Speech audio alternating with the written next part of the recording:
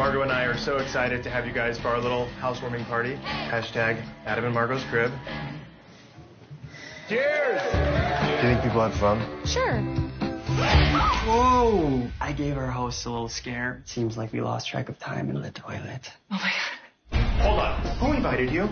We weren't actually invited in the formal sense. Or the informal sense. What? Can we hit the reset button? This is a great little house. We got a good deal. Because of the history of the house. It was just a little domestic murder situation. Hey, I wish someone got blown away in my house. Gives this place some character. It's embarrassing, actually. We were just doing a little coke.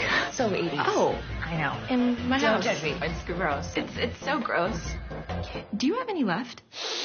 Margot. Uh oh. I saw the way you were eye fucking earlier. No, I was not eye fucking anything. Welcome to the hills. We share more than just cups of sugar. Wait, what was that? It's a game we play. Whatever you do, don't hold back. Sasha is like a bear when she smells fear. You and your girl down for being tied up?